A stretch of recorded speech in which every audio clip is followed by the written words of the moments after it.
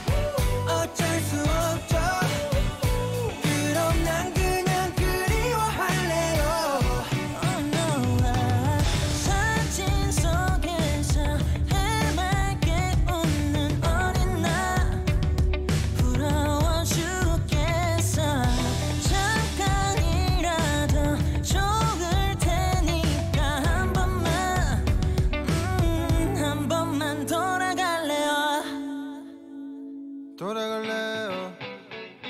다시 그때로 즐거웠던 어린 시절로.